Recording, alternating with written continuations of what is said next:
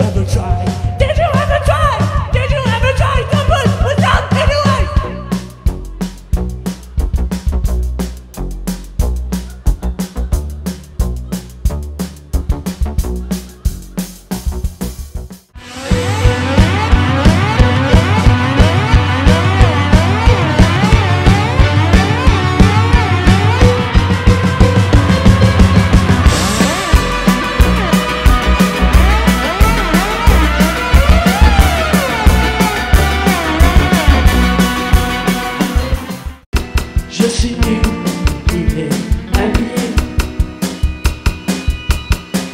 s'attend à ce que je désirerai le conserver en absence d'intérêt à débiter.